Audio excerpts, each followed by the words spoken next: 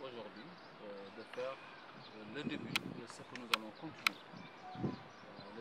Le la visite des chantiers du président de la République dans le département. Aujourd'hui, nous avons commencé par la grande mosquée de Pékin.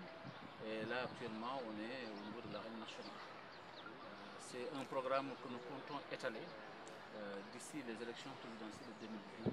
C'est-à-dire entrer dans l'ensemble des 16 communes du département de Pékin, commune par commune, aller voir quels sont les chantiers du président de la République et pouvoir leur montrer aux populations et pouvoir nous entretenir avec eux pour leur montrer les réalisations et tout ce que le président a fait dans ce département parce que nous savons qu'il en a beaucoup, beaucoup. 1 milliard 200, c'est ce que nous avons visité aujourd'hui. Euh, vous savez aussi qu'en face de la grande mosquée de Pékin, il y a le stade Alassane Djigo qui a été rénové, c'est pour presque 1 milliard 300.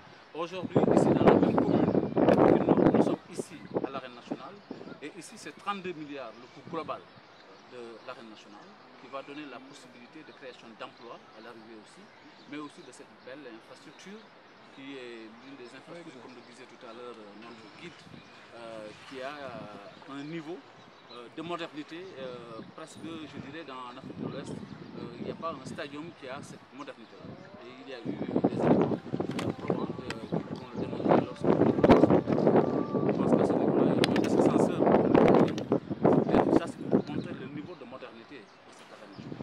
Donc, 32 milliards, 1 milliard 200, 1 milliard 300, nous sommes presque à 40 milliards. Mais c'est une première commune. Ça, c'est pour vous donner une idée de ce que le président est en train de faire. Et je ne parle que d'une commune alors que nous en avons 16. Euh, on n'a pas encore visité et nous allons le faire tout à l'heure en sortant d'ici.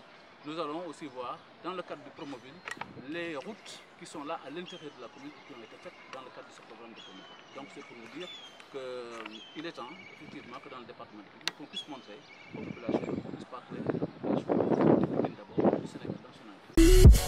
Thank you.